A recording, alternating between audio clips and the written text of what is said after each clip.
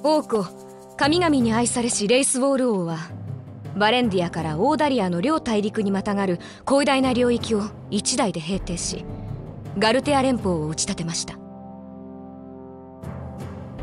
覇王と呼ばれてはいますが連邦樹立後のレイスウォール王は民を愛し無用の戦を憎みその精神は後継者にも受け継がれ平和と繁栄が数百年もの間続いたのです。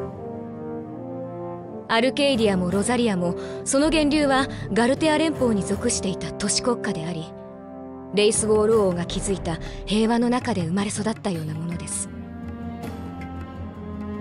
レイスウォール王は覇王の血統の証となる3つの遺産を残しました。そのうち夜行の再編は後のナブラディア王家へ渡り黄昏の破片はダルマスカを建国した我が父祖へ。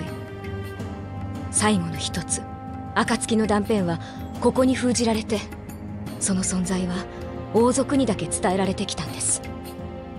覇王は今日の事態を見越しておられたのでしょう。代々の王のみに許された場所ですから証を持たない者が立ち入れば。生きて帰れる保証はなし。